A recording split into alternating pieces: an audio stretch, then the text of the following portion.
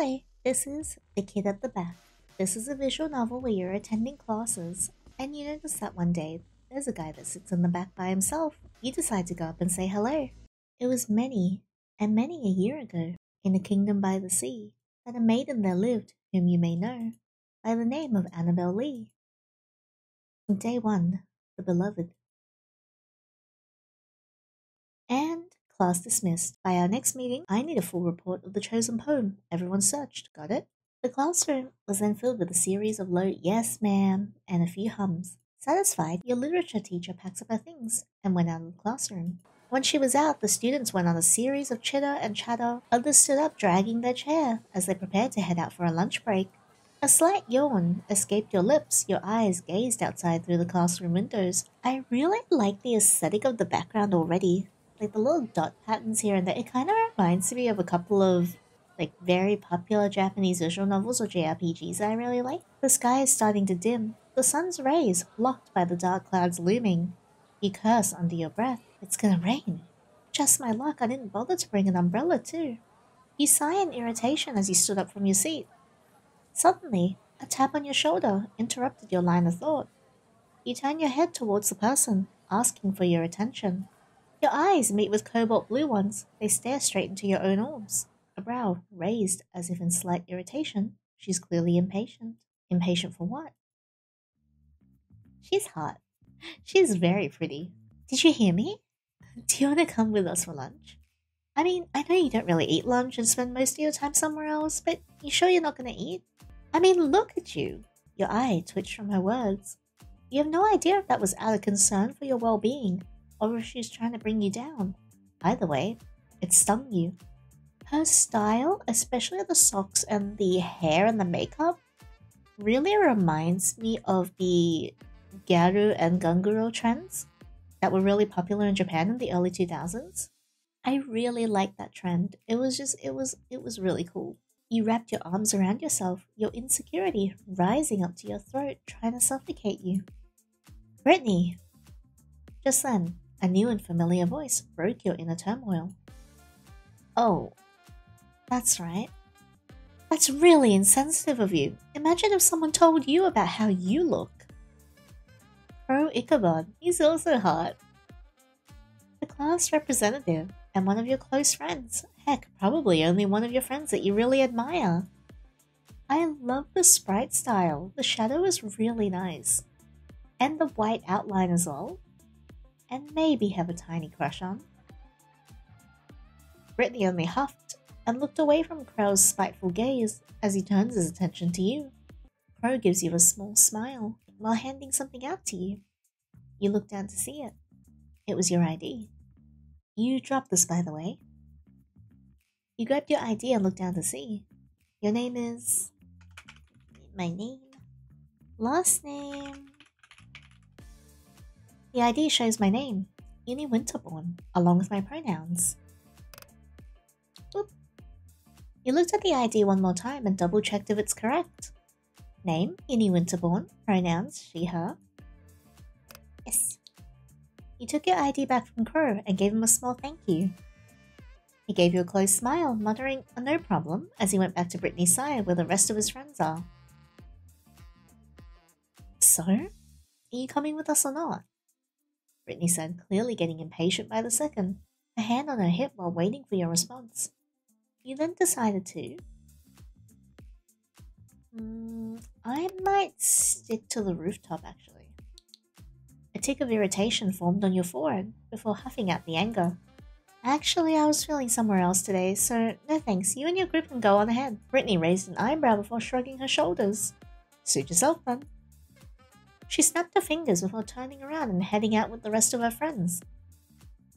In all honesty, you have no idea where to go despite the school being very notorious and had so many facilities.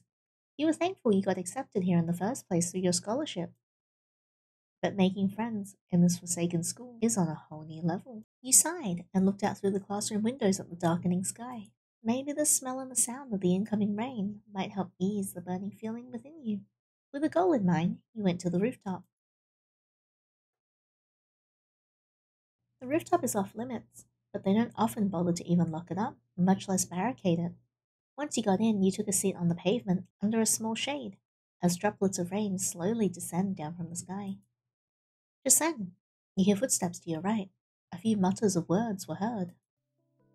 Curiosity nagged you. You went to the corner where the sound came from, and there stood what seemed to be a student with bluish green hair.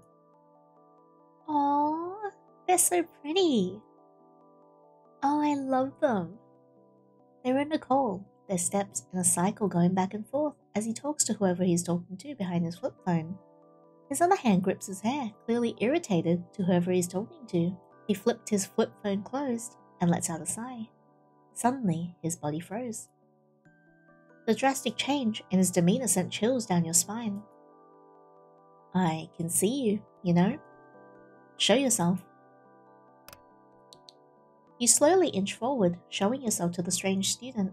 The more you look at his face, the more he seemed familiar, and judging from his facial expression, he was thinking the same thing. How much did you hear? I only heard you curse, and nothing else. He answered with honesty. He raised a brow, trying to look at your face, see if you're telling the truth. He sighed and shook his head. Either way, it's rude to eavesdrop on someone's conversation. I told you I just got here. You burrow your eyebrows, and he just chuckled, acting as if it's just silly teasing. You seem familiar. Let me remember. He closed his eyes, a hand on his chin, and does a thinking motion like those cartoon detectives in TV shows. Yinny Winterborn from art class, correct? The student smiled in glee. That's great. That means you'd be willing to help me with something. It does? Wait, what? I'm Hugo, by the way. You see, I won't be able to make it to the next class, and I kind of promised my partner for the class that I'll be there. Hugo chuckled, a sweat drop forming on his cheek, and you gave him a look. Seriously? But I'll make it up to you, I promise. I'm quite close to the student council and happen to know a few connections. I might be able to refer you if you'd like. He says with a wink and a nudge, wanting you to take the offer. That does seem like a good offer, can help lessen your expenses and have a higher discount on your scholarship. And judging from his looks, it doesn't even seem like you have a choice. With a sigh, you accepted his offer. Hugo gave you a pat on the back as if you guys had been long old friends before escorting you out of the rooftop with him in tow. The school bell rings, indicating the start of the next class. What have I gotten myself into? You just barely made it to your next class, your professor already on his desk, and was slowly bringing out their tools for the lesson of the day. You looked across the room, paintbrushes by the shelves, the week's featured artwork with a few blank canvases hidden in a shelf. You sigh as you try to look around for whoever the soul person, the guy from the rooftop, was talking about until it hit you. I don't even know what the soul guy even looks like. You groaned and took your seat by the window, Maybe you'll find out once your professor starts his class. I'll be assigning each one with a partner to work with for the upcoming weeks. You and your partner will be doing three different artworks that need to be submitted by the deadline. Hope you all got a partner already by this time. Now, I want you all to go to your designated partners before I start explaining your tasks. Shit. he mumbled under your breath. This is what you get for not attending his class last time. You don't have a partner. Luckily, you're not the only one. You looked around trying to spot someone who doesn't have a partner yet, since the guy from the rooftop clearly said they were supposed to be partners. Just your lucky day, you guess? You were forced out of your seat since your seatmate's partner will be occupying it for the class. Unlike the rest of the class scurrying around to meet their partner, there was one who wasn't moving from his seat. He went to where he was situated at, seeming to be reading a book and he let out a small cough to attract his attention. he closed his book and looked up at you. Oh my god, he's so hot. Oh, I love his hair and the eyes. Oh, he's adorable. He kind of reminds me of Blade from Honkai Star Rail, and I've been really obsessed with Honkai lately. Seems like you're a bit lost there. Do you have a partner? No. Well, just your luck then. Me neither. So, do you want to be partners? Sure, why not? He took the vacant seat right beside him, his book now tucked away, and on his desk is now a pen and a piece of paper, seemingly ready to take notes. Hey, I never got to know your name. It's not quite important. Well, I should at least know what to call you instead of green streaked hair guy. Oh, he's so cute. He raised a brow at your silly nickname you just gave him, before slightly shaking his head. Sullivan Brugmansia. But just call me Sol. Sol. Sol means sun or brightness, right? Sol nodded. I guess you can say that. I like it. It's a unique name. Thanks. Well, I'm Yinny Winterbourne. Nice to finally know your name, Sol. Oh my god, he's so cute when he smiles. Sol nodded with a small smile before returning his attention back to the professor. For this term, I want you and your partner to pass three art pieces. First one will be a portrait of your partner, strictly on paper with charcoal as a medium. You groaned. Boomer art teachers. Your professor then proceeds to give the other two tasks before leaving you and the rest of the class to do your task for the day. Everyone started talking with their partners, some taking out their needed materials as the other one poses. You turn to see Sol as he takes out his own charcoal pencil and his sketch pad for the class. I gotta tell you right now, so I'm not that good at art. I'm still quite a beginner. So you got nothing to worry about. My usual partner isn't much of an artist either. Your usual partner? Oh, yeah. I already had an assigned partner for this class. But he last minute ditched me for some important family business. He never tells me though. And I'm not the type to pry either. Does your friend go by the name Hugo, perhaps? Yeah, how'd you know? I met him during lunch, he was at the rooftop. Typical of him. Sorry you got dragged into his mess of taking his place. You shook your head, telling him that you don't mind one bit. Then he keeps talking, as if he's scolding the green haired lad back in the rooftop like a little brother. It was actually cute. He slowly took out your sketch pad and started drawing Sol's different expressions as he talks. Would you believe me if I tell you that guy is one of the top students in the entire class, yet is always missing in action? Really now, he doesn't seem to be that type of guy. Which part? Being a top student or always missing in action? Sol's brow raised and he shrugged as he kept on sketching his face. Sol, however, caught up to what you were doing and stood up from his seat and tried to pry your sketchbook out of your hands. Were you drawing me this entire time? Mm, no. Liar. I thought I was supposed to be the one drawing you, not the other way around.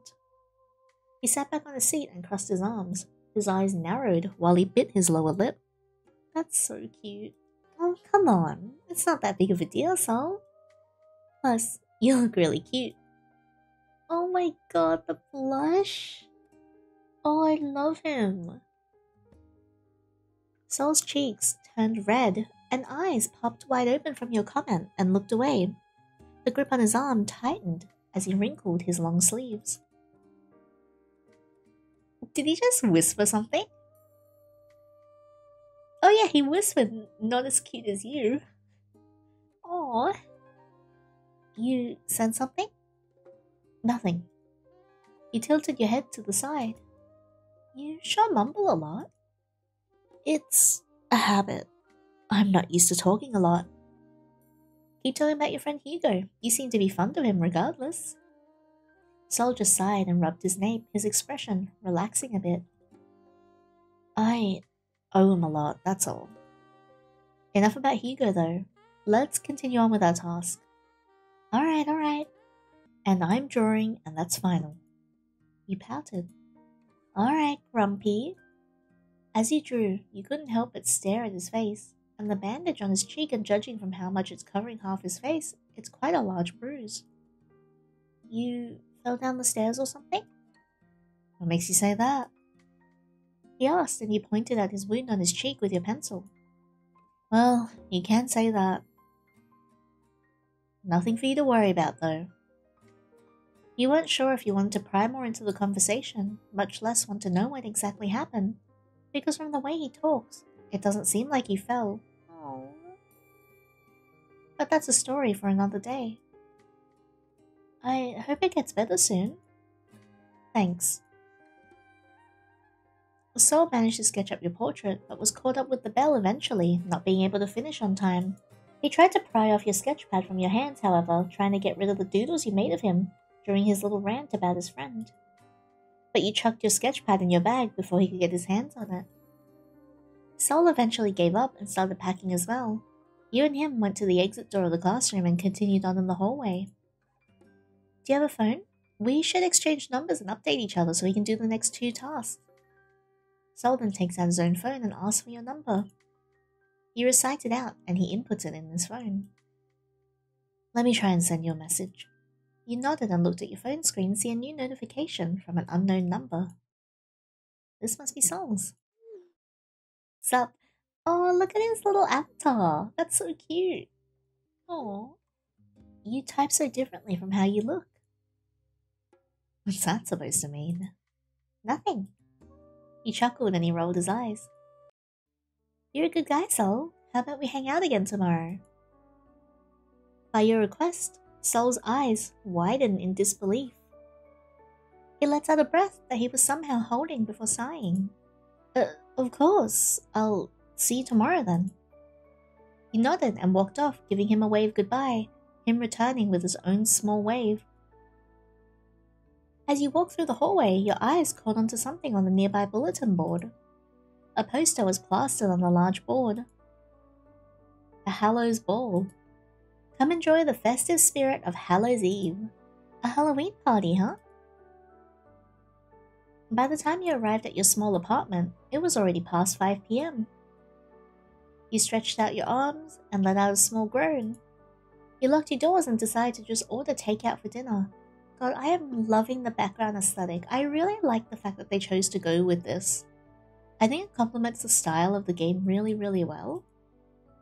You went to your living room and plopped down on the couch and took out your phone, scrolling through until a ping notified you of a new message.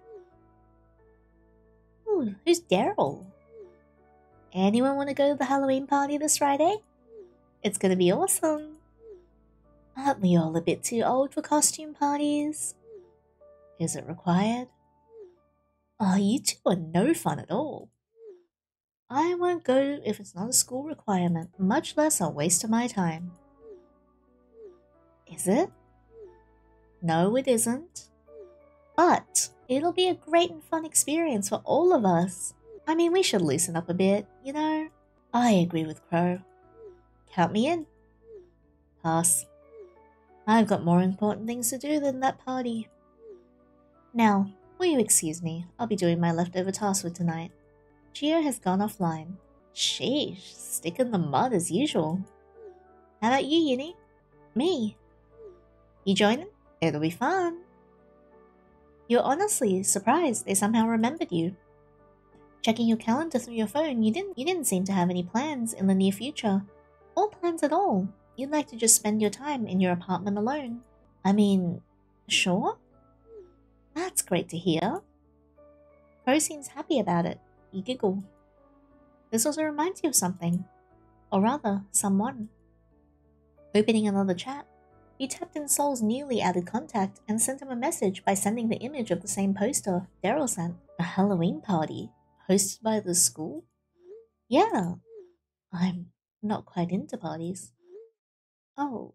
Oh, well, that's alright. Just asking, that's all. Just asking, that's all. Wait.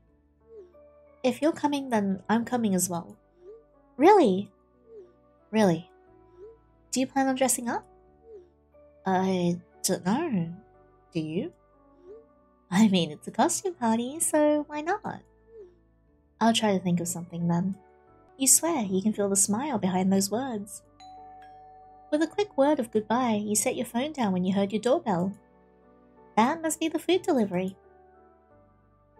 Afterwards, you ate your dinner and prepared yourself for bed. You thought of today and the events that occurred, and meeting Sol, of course. He's a really nice guy. It's a wonder how I've never met him despite sharing a single class with him. Oh well. You entered your bedroom, letting out a big yawn as you stretched your body. You turn to your laundry, slowly piling up, and scratch your head. We'll probably do laundry tomorrow. But for now, you plop yourself on the soft cushions of your bed, getting into a comfortable position and slowly dozing off as you close your eyes, embracing sleep as the night goes. Oh, oh, wait, is he doing it? Oh, oh dear. End of day one. Oh, I love the fact that we got to experience day one. Hang on, I want to pick some of the other choices. Because you were able to choose to go and sit with them, uh, like with the group, as opposed to go to the rooftop. Alright, let's go with them. Brittany hummed a sound of content before turning her heel and heading towards the classroom's exit. In tow with her is four other people, one being Crow. Crow looks back at you by the door, waiting for you. You caught up with them and met eyes with Crow again. There was something in his gaze that sends a shiver down your spine. Oh, he's hot. You quickly averted your eyes once you got out, with Crow following behind you in the group, and the group headed towards the school's cafeteria. The cafeteria was loud, students lining up to grab today's school lunch while the rest went to a table with their packed lunches. So, Yinny, do you want to come with us to get the school's food for the day, or do you want to go grab a table with the others? Brittany said, her gaze fixated on you. Aww, everyone's so cute. Brittany, along with Crow, and a girl with an orange uniform seemed to be grabbing school lunch. Oh my god, who are these two? Jeez. Oh, they're so gorgeous. Especially, oh, this was a Geo from the text. And I'm assuming this was Daryl? Meanwhile, the two guys with them have their own packed lunch about to head off to find a seat for the group. You decide that you mm, buy your lunch. I'll buy. Alright then. Daryl, Geo, Go find us some seats while we line up. The jock you assume was named Daryl waved Brittany away and turned around with the other male named Geo to find a seat. His arm wrapped around his shoulder while Geo was clearly a bit annoyed at the gesture. Come on, Jess. Let's get in line. Yes, of course. Y you go first, Britt. The girl Brittany called out, guess was Jess, followed her behind. Let's get in line before more people start piling up. We don't want to get the bad stuff for lunch. He shuddered at the thought, remembering the leftovers from the school cafeteria. He nodded and went with Crow, and getting in line with the rest of the students. In the line, Crow turned his attention back to you. I'm glad you're able to hang around with us, Yinny. Even if it's most of the time. No problem. No problem, Crow. Maybe I just need to change the scenery, that's all. Crow just chuckled before picking his food behind the counter, paying for it afterwards as he did the same. You weren't really that hungry and just bought a sandwich and a juice that you regularly buy whenever you find the time to spend your lunch break here. Brittany was already waiting for the rest of you, tray in hand. Once everyone got their food, Brittany turned ahead and walked towards where Daryl and Geo were seated. Move your ass aside, Daryl. I'm sitting there. A loud gasp escaped through Brittany's lips. Oh, wait, what happened? Her mouth opened in shock with the food that was on her tray now splattered across her white uniform. Brittany! I'm sorry about that. You should have watched where you were going back there. Brittany's eyes met with the person responsible. A group of girls, definitely bullies, and judging from Brittany's face filled with rage, they seemed to know each other. Britt, are you alright? We should get yourself clean. You fucking bitch. This is my only clean uniform. How fucking dare you? Oh, look at Miss Claire all flared up. Careful there, sweetie. You get wrinkles. It's not like you're all ugly already. And by ugly, this is getting ugly quite fast. Everyone's gazes were on the group of girls, some taking out their phones, either taking pictures or started recording. Crow tried to come in between them to stop the fight, but he wasn't fast enough. Splat. The next thing we knew, another loud gasp was heard. A wide smile was on Brittany's face. Food on the Mean Girl's white uniform as well. Yeah, let's fucking go, get her! Jess's face filled with shock as the food from her tray is gone. Take that, shit stain.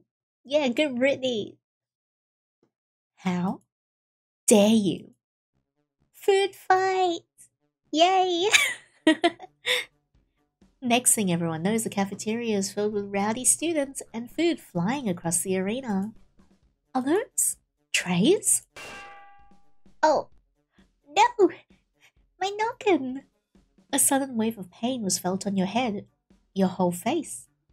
And the last thing you saw was Crow calling out your name before passing out. Oh no! Ugh, where am I? Oh, you're awake, thank goodness. Crow? You tried to sit up, but the sudden pain that went through your head stopped you. Crow gently pushed you back down on what seems to be a bed before taking a seat beside it. The nurse already bandaged your head. Don't push yourself. Ugh. What happened?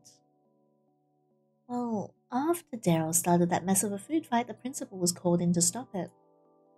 Daryl got lucky enough to escape when he did. Geo was nowhere to be seen. As for Brittany, what about her? Well, Jess helped her out to grab a new uniform from the principal's office.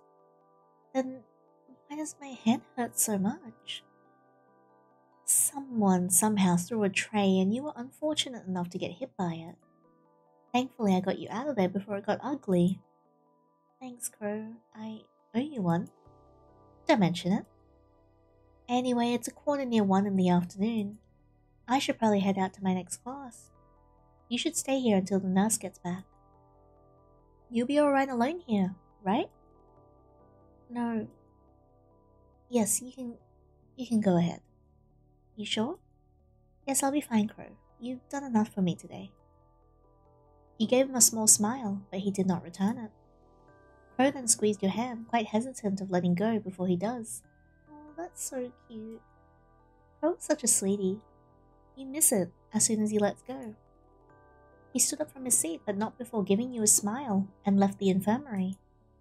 You groan and lay back down on the bed, feeling the bandage on your head. At least the pain is slowly dying a bit. I hope it didn't leave a mark on my head. Just then, you hear the door open, the nurse's voice echoing through the room as the clicking of her heels get louder as she draws closer. Oh, it's Sol. Oh he doesn't have his Wait, he doesn't have his bandage this time, but he's got a bleeding hand. Oh, my poor baby. The school nurse entered, and following her was a tall student dressed in black. He seemed to be holding onto his left hand, and there you can clearly see a streak of red flowing. You should be thankful you didn't cut a vein. How were they able to get past with that pocket knife in the first place? The nurse sighed. Seems like she's got her hands full with another student. The latter, however, didn't say anything, but let out a small hiss when the nurse dabbed antibacterial on his wound. He sat up slowly, careful not to hit your head on anything, before sitting up and looking at the student and the nurse. Your eyes meet with reddish orange ones as the nurse finishes wrapping up around his wound, a blotch of red slowly seeping out and staining the once white bandage. His eyes still on you. Ah, you're finally awake, Miss Winterbourne. so my username, well, my last name that I use in all the dating sims that require a, a surname is a Skyrim reference. So the ah, you're finally awake just kind of reminds you of the hey, you, you're finally awake. The nurse finally notices your presence. She took out some painkillers from one of the cabinets and gave some to you. Take these to lessen the pain. You're both free to get back to your class, or you can stay here and recover. I'll go back. Thanks for patching me up, nurse. The boy said before heading out to the infirmary. The nurse just shook her head before returning her attention to you. You can take some extra pills, but not too much. You can come back here if you ever feel anything wrong, Miss Winterbourne. Take care now.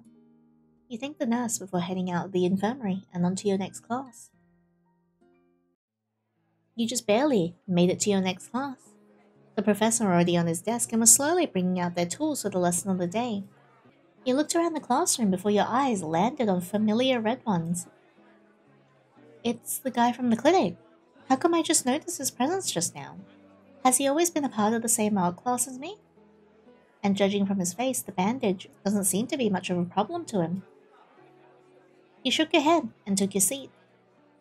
I'll be assigning each one with a partner to work with for the upcoming weeks. You and your partner will be doing three different artworks that need to be submitted by the deadline. Hope you all got a partner already by this time. Now, I want you to all go to your designated partners before I start explaining the task. Yeah, I think this is just the same as the other one. I'll skip over to when he starts talking to us though. Yeah, it's just the same. What if I pick this option? Your name contradicts with your whole glam, not gonna lie. Sol looked away, scratching his cheek. Yes, sir. Not really the jolly type. Hugo's more of that.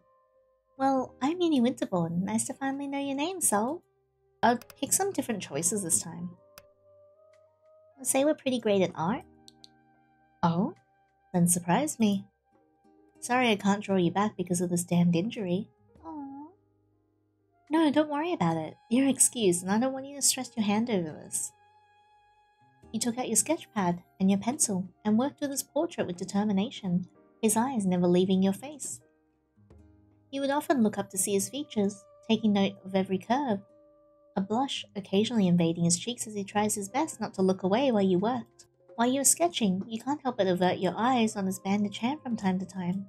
Seems like you're quite curious to know what happened to this, huh? And you weren't slick with it either. You froze when he caught you red handed, just like the red seeping out of the bandage. You stopped drawing. Sorry, that was rude of me. It's fine. This is just the usual for me. I've gotten worse injuries than this. Oh, oh boy. You raise a brow at that. Not the worst? If you don't mind me asking, what happened? He paused and averted his eyes, but opens up to speak. Nothing much. Was minding my own business, got assaulted, had to defend myself. He talked as if it's just another normal Monday for him. Your eyes furrowed. He noticed and just chuckled. no need to worry about me. All that matters is that I'm still here. You didn't say anything, however. Continuing on with the drawing, your movements slow and now refusing to look at his injured hand. The school is way more fucked up than I thought it would be. Oh, poor soul. That poor sweet boy. The bell rang, and sadly, you weren't done with his portrait yet. Can I see it? Wait. Hmm? I mean, I'm not finished yet. I'll show it to you once I'm done with it. Plus, you still need to draw me once your injury gets better. You close your sketch pad and fix your things.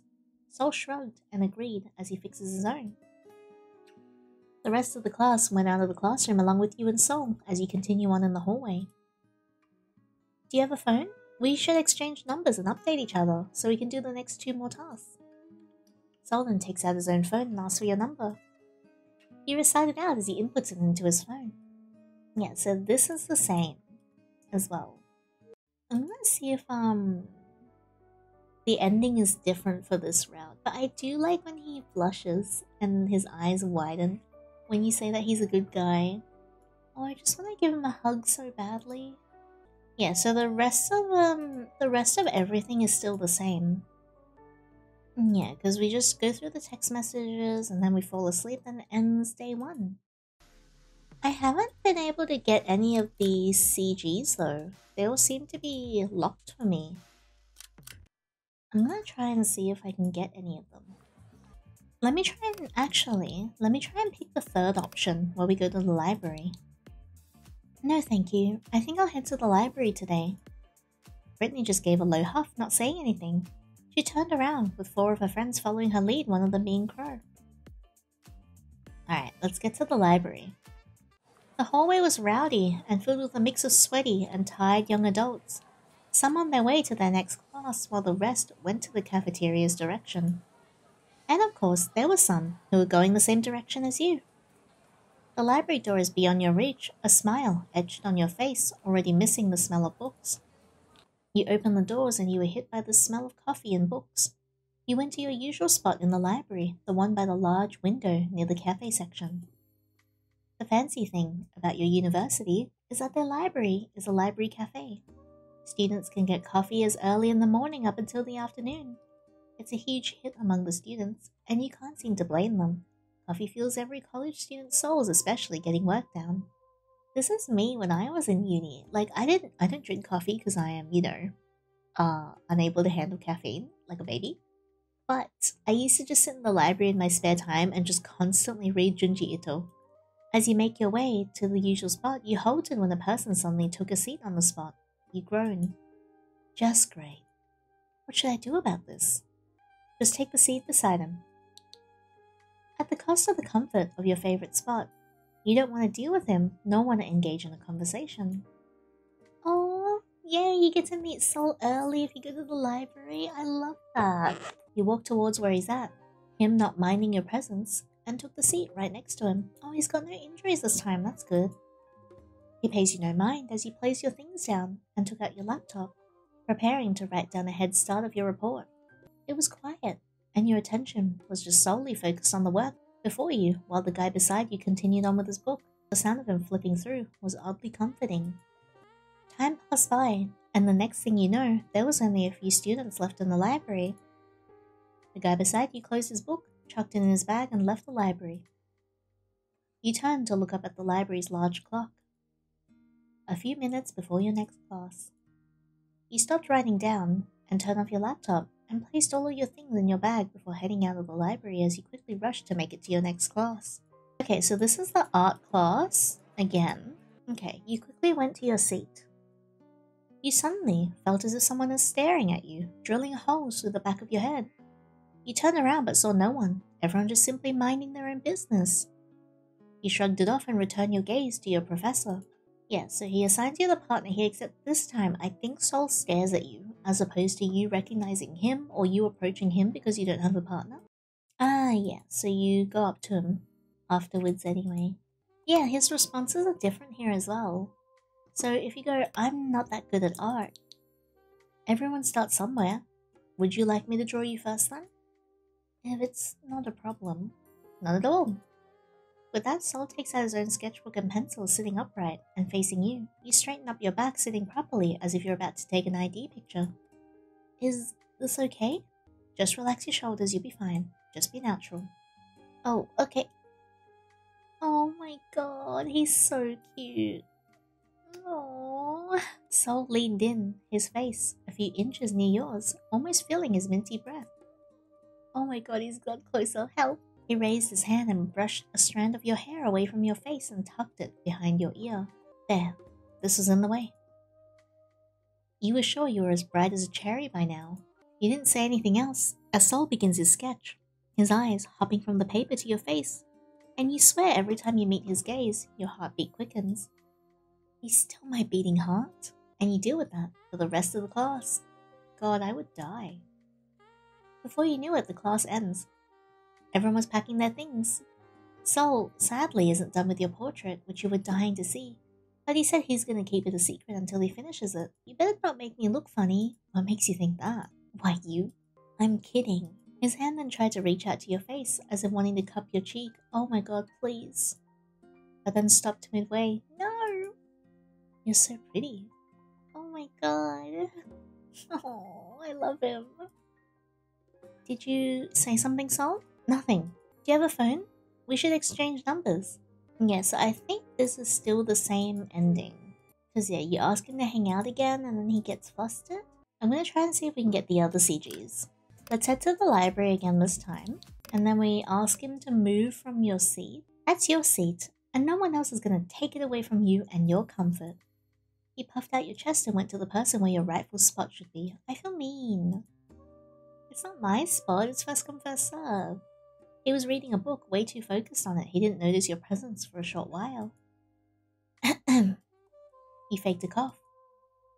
This seemed to catch his attention. Hmm? Um, you're in my seat. Can I have it back? He looks up from the book he's reading, and you're met with piercing, reddish eyes. Eye bags right under it, as if he's never gotten a wink of sleep for a week. Oh god, man after my own heart. I love my favorite aesthetic for 2D men is black hair and dark eye circles. You twiddled your thumbs, your heart thumping from your chest as you return his gaze, ending in some sort of stare down. He raised a brow before looking around, under the table, on the seat, Heck, even under his book before turning back to you. I don't see your name anywhere. He's so sassy. A vein tightened. Oh, so he's trying to be a smartass, huh? Your cheeks puffed and he just gave a small chuckle before closing his book and placed it down on the table. I'll give you a seat back, but what can you offer in exchange? Oh? Um, we have the option of giving him something intimate? Coffee? Or just give let's try this one. What? You want a hug or something? He raised a brow at you, a slight tilt to his head, wondering what you were trying to imply. Now that I have a good look at him, he actually looks kinda cute. Now wait, what am I saying? Shaking your head, ignoring your cheeks heating up, you patted your temples trying to get rid of the thoughts. Minding you no more, the guy returned his attention to the book in his hands. A groan escaped your mouth, and with a pout you set your things down and sat on the chair next to him.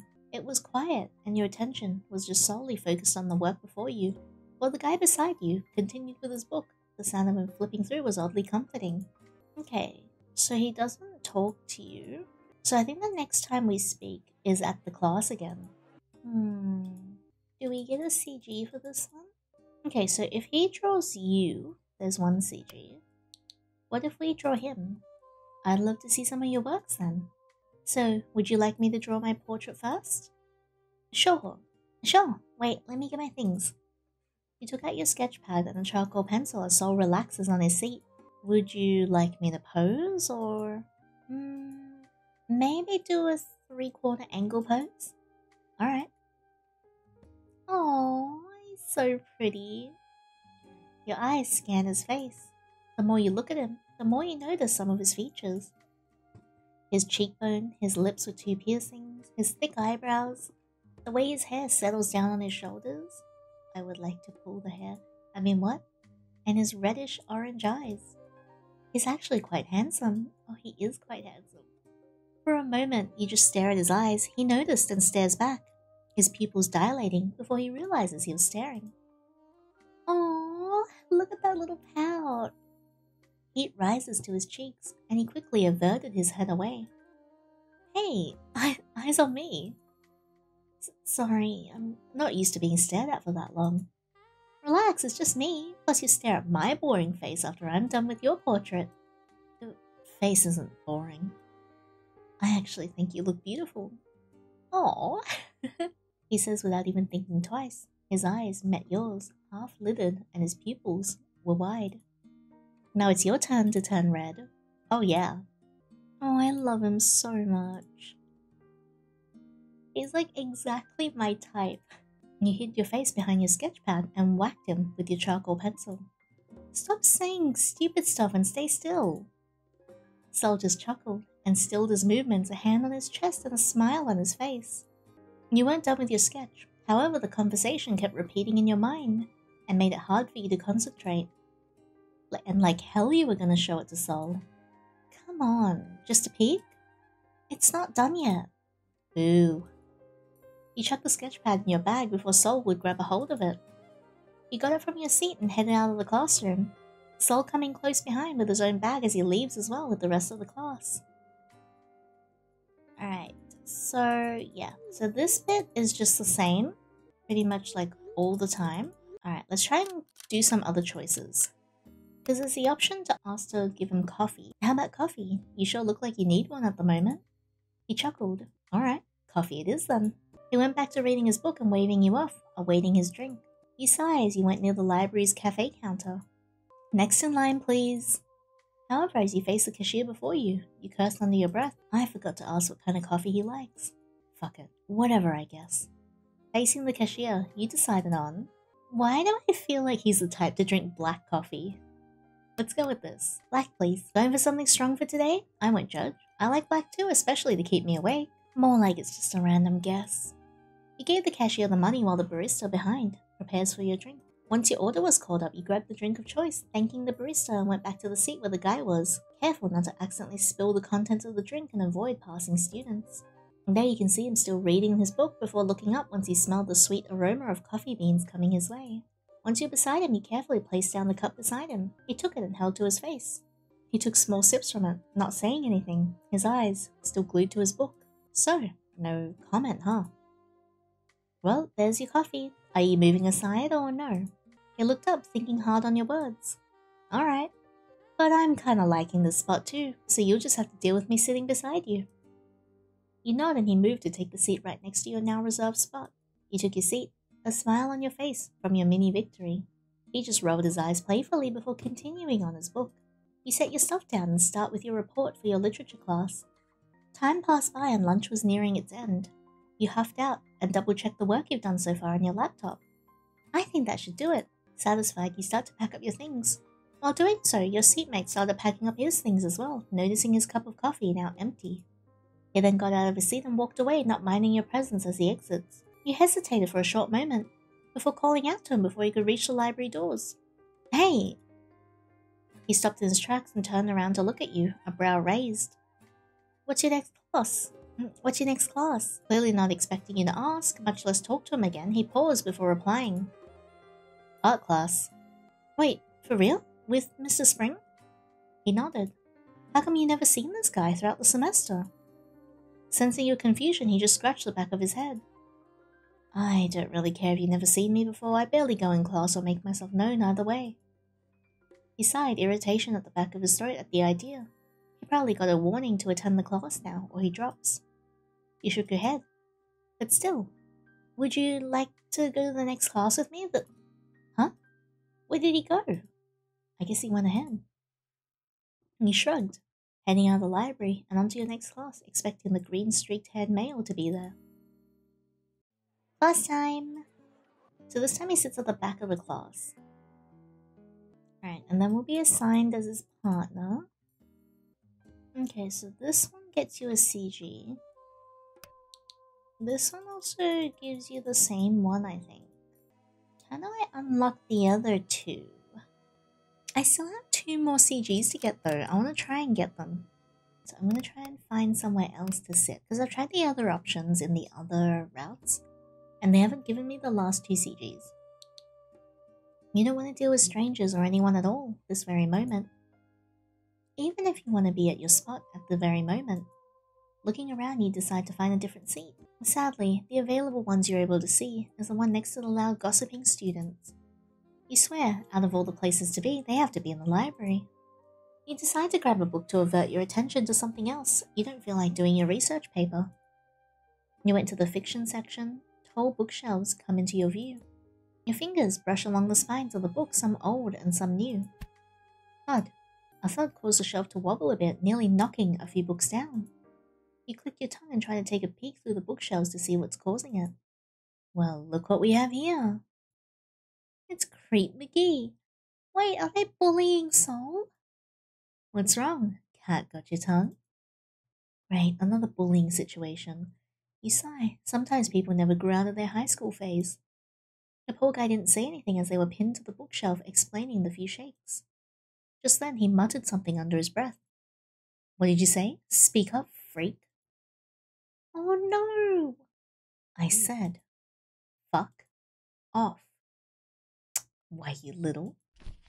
You winced, and the redhead landed a blow on the boy before your eyes caught something glistening from the raven-haired bully's pocket. A pocket knife. How the fuck did he get in there with that? Let's see if you continue being a smartass once I cut your mouth. No way! I'm stopping them. I'm gonna stop them. You rushed out as quickly as you can across to where the bullies are. Stop! From the sound of your voice, the bullies halt in their movement and turn to face where you are. Oh my god, he's so gorgeous. I hate the fact that he's getting bullied, but he's really pretty and I love him. You looked at him, clearly knocked down on the floor, a few books on his side. Your eyes met with piercing reddish ones. His eyes narrowed as he turns at your sudden appearance. If you heard him, I'll scream and alert everyone in the library. By your threat, the bullies clicked their tongue before roughly kicking the guy on the floor and leaving, the raven-haired one shoving your shoulder on the way. You rubbed the area where the bully shoved you before turning your attention back to the student on the floor. He looks pretty beaten up, a purple bruise forming on his left cheek. My poor sweet baby. You went towards him and kneeled down, offering your hand. He said nothing, however, looked at your outreached hand, hesitating for a while before gripping his wrist and helping him stand up. Now that he's standing at his full height, he's actually pretty tall, probably around six feet.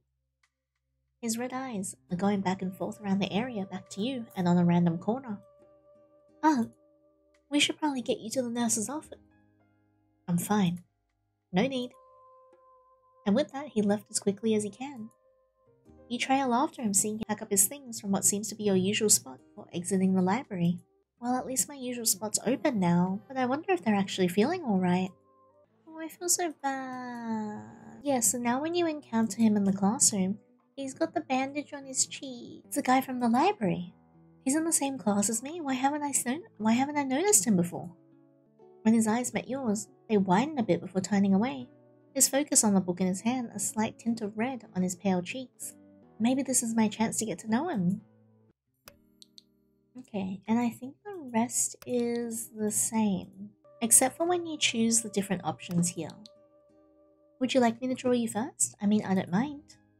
I'm quite confident in my skill of art, he said with a smile on your face. Sol thought for a bit. The offer was quite tempting, but then he remembers the bandage on his face. He shook his head as he took out his own sketch pad and his pencil. No, it's alright. I'd rather draw you for now. You sure? Yes. Why so? Because you're prettier. Uh, uh, I mean, I look like crap. And wait, I didn't see what he got. To, I didn't see what he said. I saw like, and you look really gorgeous, and I think it's more appropriate if I draw you, since you're so flawless and ethereal, and he's cute. Whoa, whoa, whoa, whoa! Slow down. What were you saying? That I'm pretty? Yes. Can I just draw you? I just don't like how I look with this bandage on my face, that's all. God, I feel like I'm about to explode. You just gave a small chuckle before letting him do the honors and draw you instead. He sat up straight and fixed your hair as Sol started on his sketch. Red covered his cheeks up to his ears as he tries his best to hide his blushing face behind his sketch pad. Oh, he's so cute. Oh, I love him. The sound of pencil against paper filled the classroom. You on your seat as Sol looks up at you and back on the paper from time to time. Whenever he gazes at you, you saw his eyes go half lidded as if in a dreamy daze. But you didn't think too much about it. Thank you. What was that? Sol stopped his strokes on his paper and finally locks gaze with you. His sketchpad covers half his face as he speaks. Thank you, Yinny, for helping me back in the library. Oh, it's not a problem. You're in quite a pickle, and no one bothered to help you out. I don't know what I'd do if I didn't save you there. Well, you saved me the trouble today. After that, Sol said nothing as he looks at you before continuing on. You swear a small tint of pink appears on his ears as he keeps hiding half of his face behind his sketchpad. Small conversations were made then and there as he worked while you kept the air afloat. Sorry I wasn't able to make it in time to not get you injured. You started and Sol's eyes just widened at you before shaking his head. Don't worry about it. These types of things are usual for me. The usual for you? He sighed as if the thought alone is such a huge task on his hand while he continues. I get in trouble either way, so what's the point? Sol then mumbled something under his breath, the grip on the pencil tightening in his grip before sighing and looking up at you. And that was enough to calm him down and focus and continue on with the sketch, leaving you dumbfounded. Before you knew it, class was over. Sol, however, is not done with his portrait of you, as his pencil still makes a few more final touches on his sketchpad. Just a few more touches. There. Oh, he finishes it this time. Can I see? Of course. Sol hands his sketches to you and you gasp. This looks so good. The details and everything. And he's not even done yet? Sol, this looks amazing. How the fuck did you do this? By your compliment, he just rubbed the back of his neck and shrugged a little, a bit embarrassed at your compliment. I love to sketch once in a while. I often draw random people in parks when I go out. You couldn't help but admire him and his work. Can I keep this? I mean, right after our professor grades it, of course. Sol places a hand under his chin, thinking about it. Hmm, not sure. I think I could do better than that one. But I really like this one. He just chuckled. Alright, you can have it once I'm done and our professor grades it. But in return, I get to keep the portrait you make of me, alright? I think that's a fair deal. Sol agreed and you cheered. He gave back his sketchpad and fixed up your things. Sol packed up as well as you both headed out towards the hallway. Do you have a phone? We should exchange numbers and update each other so we can do the next two tasks. Yeah, so the ending here is just the same. So after the spicy scene, it's pretty much just it. Alright, we'll do one more where we don't save him in the library, even though I feel really bad about that one. Find somewhere else to sit, leave the scene. You didn't want to be involved in this any longer. Who knows, you might be the next victim if you stay for too long. Fuck the book, you can come back and read some other time. You turned quickly and left. The smell of iron invaded your nose. You shook your head and sped walked to your table. Fuck, you little shit, you'll pay for that. What's all that noise? Just in time. From the corner of your eye, you spot the librarian going to where the bullies were, and a gasp was heard from her lips. Two of you, to the principal's office. And as for you, Mr. Brugmansia, you stay put as I call for the nurse. You can't help but tune in as you pack up your stuff preparing to leave the library. You turn your head, and it was in that moment you wish you didn't. There stood a tall boy in black, his eyes red and dull, with dark eye bags under it. His face is swollen, a purple bruise on his left cheek. No, I hate that I didn't save him. But what made your heart stop along with your breathing is the blood on his left hand, a large gash on it. You were too busy staring at his wound, you didn't see him look your way. His gaze started to burn. You looked away, shoving the remaining notes in your bag, zipping it close, and sprinting out. Fuck the library, I'll just wait back in the classroom for my next class. Oh, I feel awful that we didn't save him. You look around the classroom before your eyes landed on something, or rather, someone familiar. Piercing red eyes, burning through you. You averted your eyes from his gaze, sweat accumulating from your temple. Shit, it's a guy from the library. I didn't know he's in the same class as me. Okay, and then we just go and get him as a partner? I'm not that confident in my art skills. It's alright, as long as we get to finish the work the professor assigned us. Can I just ask for a favor? Yeah, what is it? Just don't include my bruise. He slightly averted away, refusing to meet your gaze as if embarrassed. He seems to be quite cautious of his appearance. Of course, anything to make you comfortable. Thank you. Plus, I might actually take a while to even finish. Take your time. I feel bad that I didn't save him. I hate this. You can't help but look at the bandage on his face, the purple bruise not fully covering the entire wound, and your eyes then trail to his wrapped hand, blood seeping out of it. Your stomach doesn't feel good. Actually, you don't feel good at all. And Sol noticed your change in demeanor, and the fact you haven't moved an inch on your sketchpad told him something's wrong. Hey, you okay? I. If you're worried about my face, don't mind it. It's nothing to be worried about. But Sol remained quiet, not sure what to do. The best thing he did was pulling his sleeve, trying his best to hide his bandaged hand. There. All better? Any? You felt fingers under your chin. The next thing you know, you're face to face with Sol, his eyes filled with worry and his brows were furrowed. At the sudden intimacy, your heart beat quicker than you pulled away. Sorry. It's alright, you didn't mean to stare. No, I mean for leaving you there when you actually needed help. Sol raised a brow as he backed away. You were there? Back in the library, I should have helped you if I knew you were going to get badly injured. I'm such a coward. You grip the pencil, guilt filling through your bones on what could have been easily avoided and maybe helped out. Hey, it's alright. There's nothing else you could have done during that time. Who would bother to help me anyway? No, I feel terrible. Say, why don't you make it up to me by finishing that portrait? Sol tells you with a small smile, trying his best to change the subject and to cheer you up. You said nothing, however, but started slow with the sketch, the guilt still eating you from the inside. The bell rang. Sadly, you weren't done with his portrait yet. Not sure of how it turned out. Can I see it? Uh, I'm not done yet, though. Is that so? Well, I haven't even gotten started with yours. Can you wait until I could finish? I promise it won't take long. Take as much time as you need. You and Sol then packed up. You hurriedly shoved everything into your bag, wanting to leave the room as soon as possible. You rush out, catching Sol by surprise. He quickly grabbed his things as well and tried to catch you in the hallway. You went out as quickly as you could, but Sol was hot on your tail. He eventually caught up to you and grabbed your wrist with his good hand, stopping you in your tracks, eyes still refusing to look at him. Sol sighed and rubbed the back of his head. Hey, you didn't say anything.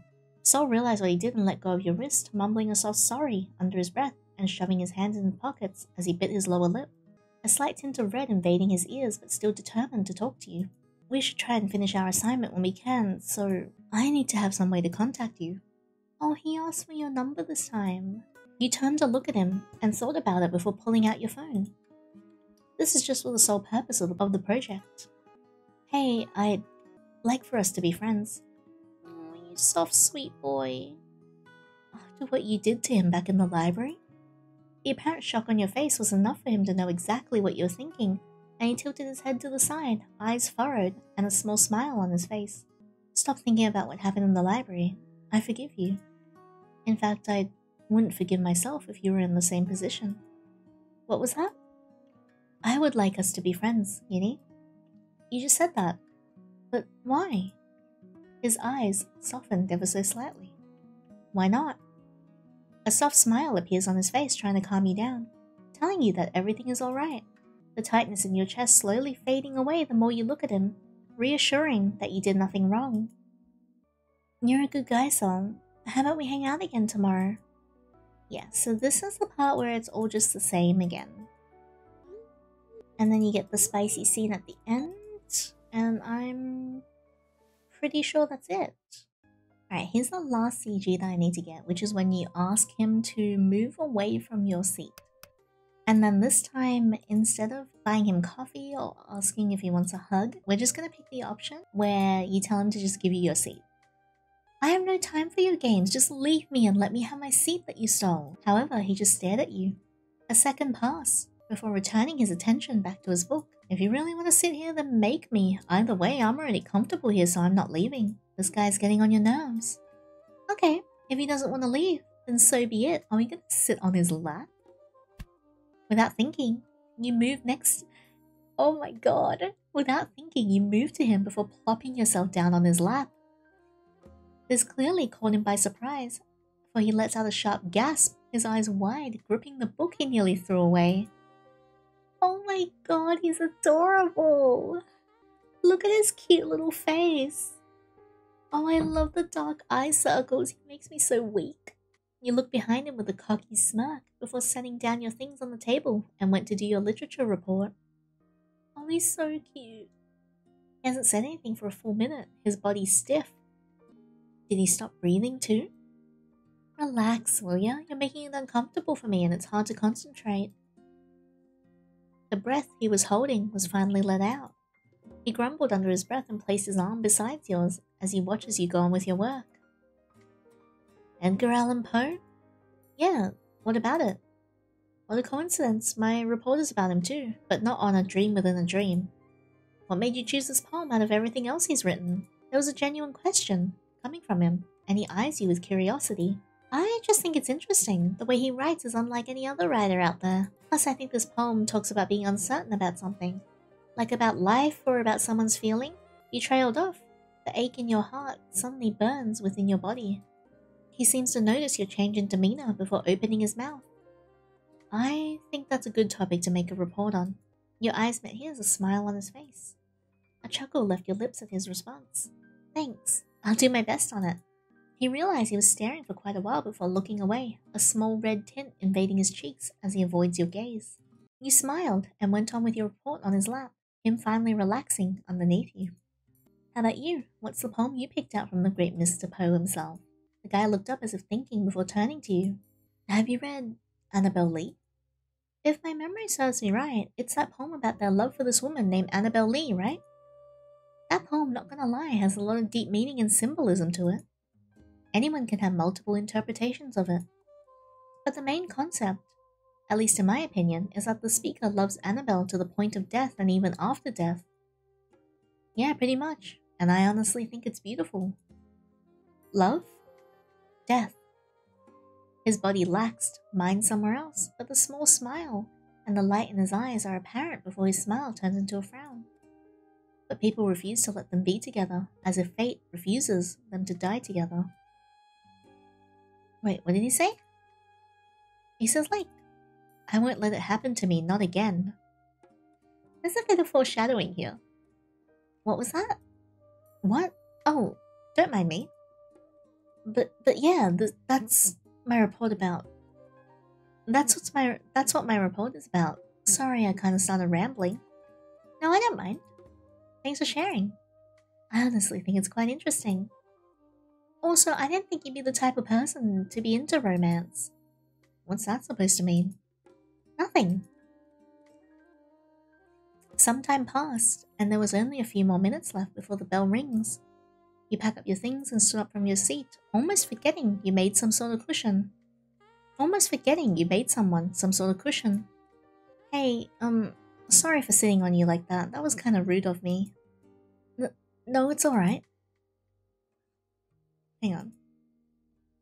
I'd like for you to stay a bit longer, actually. What was that? Nothing. Your next class is art, correct? How'd you know? It's my next subject. Who knows, maybe we're classmates or just have different teachers. He lets out a sigh, seemingly disappointed by the realization. He packed up his things before heading to the exit. You follow him on the way out. Oh, there's another scene here. Just then, you heard someone calling out your name. You faced to your left and saw no none other than Crow, Brittany, and the rest of her group of friends. I see that you did spend your time in the library. I did. How was lunch? Brittany's eyes narrowed. You didn't understand why, but the moment your eyes went to her ruined uniform, you kinda guessed what happened. That has got to be one of the best food fights I've ever been in.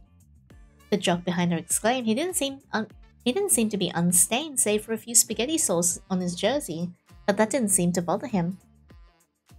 Daryl, you better shut your fucking mouth before I would do the honors for you. Ah, oh, now, Brittany, let's just go to the changing room and ask the principal for an extra uniform, alright? The girl with glasses cuts Brittany off, calming her down in the process. You're right, let's go, Jess. Can't believe I have to be late on my next class because of this bullshit. Oh, Geo, it's so good to see you again. You are so pretty. Daryl said nothing, but hid behind the tall, stoic male as both Jess and Brittany left. Sometimes I forget how scary she is. Don't you agree, Geo? Get off me. Sometimes you wonder how the group are even friends, but then again, people don't usually approach your friend group. You often wonder. But then, but then again, it's none of your business to pry. Ignore them. So, back to you, Yinny. Oh, right, I actually had to fight someone for my favorite spot in the library. Talk about a pain in the ass. Crow just chuckled, his eyes telling you to go on. He shouldn't have gone too far, he just left. You turned around, expecting the green-haired streak hmm, expecting the green streaked haired male to be there, but to your surprise, he was gone. He's fast. How curious. Do you happen to know who they are? No, I never got to ask his name. Well, you better get off to your next class. We only have a few minutes left before the bell rings. I'll see you soon, Yinny. You wave him goodbye, Crow going forward with Daryl and Geo behind. You scratch your head before heading out to the other direction and onto your next class as the bell rings, echoing through the hallway. You just barely make it out to your you just barely make it to your next class. Your professor already on his desk and was slowly bringing out his tools for the lesson of the day. You look around the classroom trying to find a familiar boy. There we go. There, he's situated at the very back of the classroom. Judging from his look, he's been staring at you for a while. You gave him a small smile and a wave. He smiled back with a small wave of his own. Aww. You went to your seat by the window, turning around to face him one more time. His eyes still fixated on you, a hand on his cheek while admiring you. Heat raised up to your cheeks from the somewhat dreamy look on his face. You turn your head to the front, focusing on whatever your professor is talking about. He sits at the back, no wonder I don't quite notice him. Alright, I see if anything happens when you tell him that you can you can't draw. Okay, so this is the same one where you get the first CG. And I think the other option is the same as the other ending. Oh, he's so cute. Yeah, so this is the one where you draw him instead. And the ending is the same as all the other times. I think that's majority of the paths that we can get. I love this so much. I love the art style, how they did the backgrounds, how they did the sprites. The story is also really intriguing as well. The character design is gorgeous. I really liked all of the characters they showed. They were all looked really unique. Sol is definitely my favorite. And I'm pretty sure Crow is the other person that you can romance as well. So I'm really excited to be able to play through the full game and check it out. So uh, I think the dev is uploading it in days though, as they work on it since they are primarily solo deving this. They are planning on adding more not safe for work scenes in the future, so if you are interested in spicy scenes, please consider tipping $5 on their itch page, which I've linked in the description below. I had an absolute joy playing this with you. Thank you so much for sitting with me and listening to the story as I explored as many of the possibilities as I could. If you liked the video, please give a thumbs up. Don't forget to subscribe so you can catch my future videos and leave a comment below if you have any recommendations as to what I should play next. I also stream on Twitch four times a week. Feel free to come and hang out with me and my absolutely wonderful community. We play games like Baldur's Gate and other games that have hot 2D people in them. But until next time, take care.